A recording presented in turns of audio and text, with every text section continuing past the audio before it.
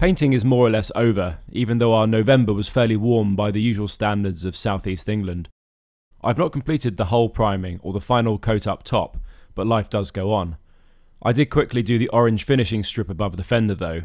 It neatened off the edge where the two pack polyurethane paint stopped, and I couldn't get the roller further down. But that's not what today's episode is about.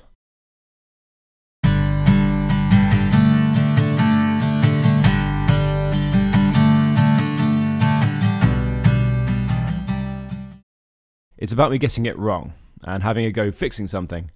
And I'm not talking about mucking up the camera lens focus point on this clip. Hello.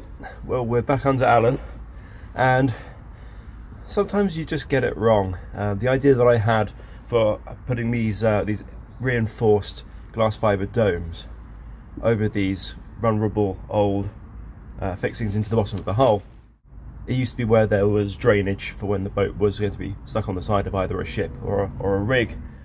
The truth is that I don't like the domes that much. I think they might actually take away one vulnerability and add another, and they're also not that much less work than what I'm now going to do. So I'm actually going to remove the, uh, this entire metal fixing, and then I'm going to glass over it. To speed things up, as I needed to remove a fair chunk of hard stainless steel, I thought I'd exchange my now well worn flap wheel, not something that's been lacking in usage over past episodes, with a heavy duty thick grinding disc. That must do the trick, surely. Or at least it should have. I needed to grind with care, with all the keel cooling fittings and fiberglass around. At the angle I was forced to work at, it was tricky to control, and so progress was slow and unsatisfying. I quickly did a U turn and fitted a brand new flap wheel to the grinder and forged onwards at reducing the steel back to near flush with the hull, and without any lumps or steps in the material. This was dramatically more successful, and the fresh disc cut through the steel at a rate of knots. I even managed to find a comfortable object on which to rest my head as I worked away. I cut back the metal methodically around the fitting a few times, not concentrating on any one area for too long. This was because the friction was heating up the metal to quite some extent, and whilst the old sealant had pretty quickly incinerated, hardened, and fallen away, I wanted to limit the heat build-up that might begin to damage the fiberglass and resin laminate surrounding the steel. A few moments rest each time the steel became too hot to touch with bare fingers was my tactic. Eventually the surface was approaching smooth ridge freeness, and it graduated nicely from the surrounding fiberglass. I find closing your eyes whilst testing surfaces for smoothness does help. Sight can play tricks on you. Before the next stage, I needed to clean up the surrounding hull. All the steel dust had either ended up on my face or disappeared off somewhere, but the old sealant and gel coat dust became sticky and needed to be carefully wiped away. I need a perfect surface for the final steps to this operation, so filler appears on the scene. The aim is to take what's already a pretty good profile and end up with a perfectly smooth graduation across the old water drain. This is a premium waterproof filler, but it's polyester resin based, not epoxy, even though it's confusingly marketed as epoxy.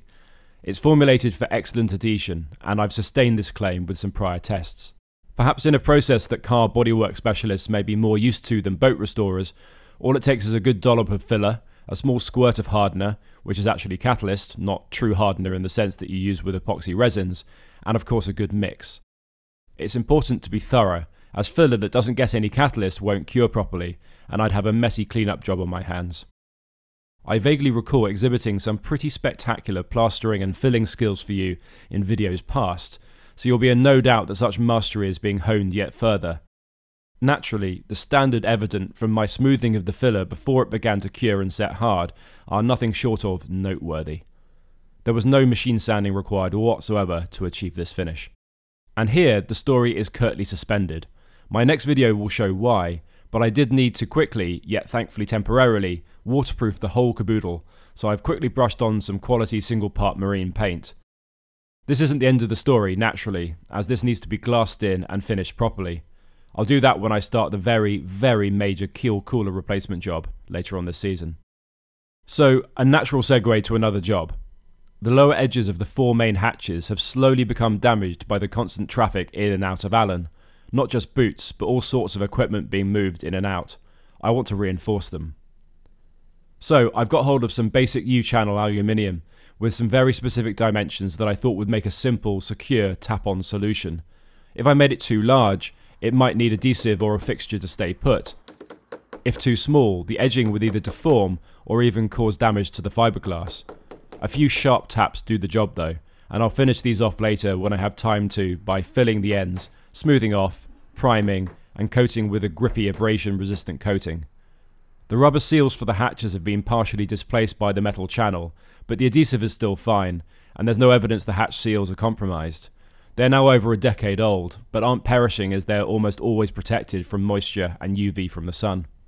And now for my final job in this episode, and another vague hint as to what might be going on in the next one. I've received in the post a pretty vicious, medieval looking, and certainly premium priced contraption and not at all a tenuous example of dispatching two birds with one lump of extremely sharp metal. An anode and a rope cutter all in one. There are two things I don't want. The first is for my propeller and shaft assembly to corrode. No one, especially Alan, wants that to happen. The second is to end up with Alan's sole means of propulsion being snagged up with a carelessly abandoned net or rope floating around in the water. The corrosion must be kept at bay at all costs, and the ropes and nets must be shredded and thus vanquished. This device delivers both services. All that's needed is to fix it to the prop shaft, hopefully the right way round, and tightly secure the two bolts.